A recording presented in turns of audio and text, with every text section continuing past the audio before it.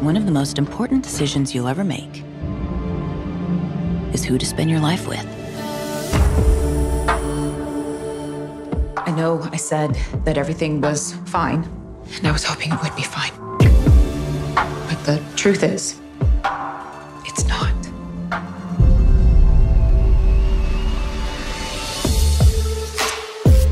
I knew you'd go back to him, This isn't about Brad. It's about our marriage. which is pretty much over. Don't you think? I know that you're upset. I'm not. I'm just done. I came to you six months ago with a ring. You said no. And now it's too late.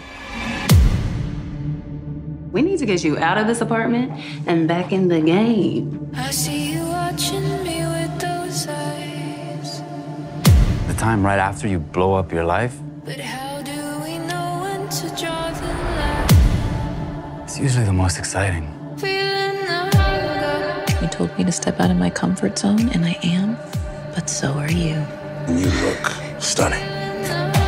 Oh, you are the one who gave up your power, sacrificed a huge part of yourself for a man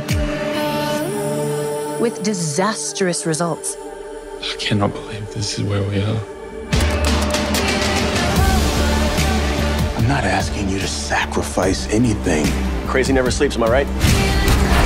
What I am saying is why not try for it all?